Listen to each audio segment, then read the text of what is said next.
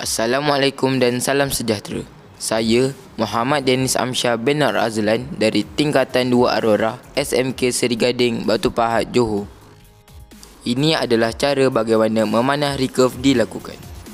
Memanah adalah sukan yang paling baik diamalkan dalam keadaan terkawal dengan membentuk daya tumpuan, kekuatan, konsistensi dan ketepatan.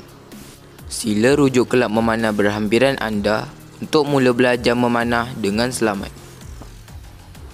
Pertama, pemanah perlu melangkah ke shooting line. Letakkan sebelah kaki di kedua-dua sisi shooting line dan bahagian tangan memegang bow mengarah ke sasaran.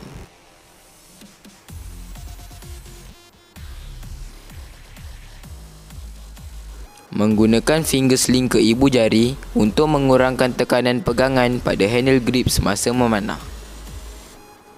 Selepas berdiri dengan posture bersedia di shooting line, Keluarkan anak panah dari quiver, letakkan di atas arrow rest dan klipkan arrow knock di knocking point. Perlu diingat bahawa satu fletcher pada anak panah menghadap ke arah pemanah bagi memastikan laluan anak panah lancar semasa dilepaskan. Penggunaan finger tap diperlukan untuk melindungi jari semasa membuat tarikan pada bowstring.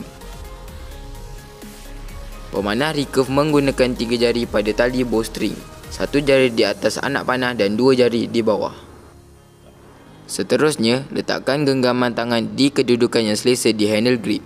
Naikkan tangan sehingga anak panah diarahkan tepat ke sasaran. Bowstring akan ditarik sehingga ke arah sadapan hampir menyentuh muka. Pemanah akan meletakkan bahagian tangan yang menarik bowstring dengan jari menyentuh bahagian rahang, tali menyentuh ke dagu, bibir dan hujung hidung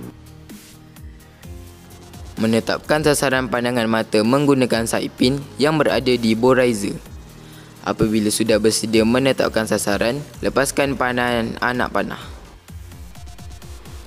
Selepas anak panah dilepaskan, tangan yang memegang bow kekal lurus lari dengan pergerakan bow yang dilepaskan. Kedudukan jari yang menarik bowstring berakhir di belakang leher atau follow through.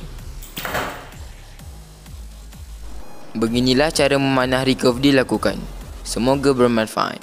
Saya Muhammad Denis Amsyah bin Nur Azlan dari Tingkatan 2 Aurora SMK Seri Gading Batu Pahat Johor. Sekian, terima kasih.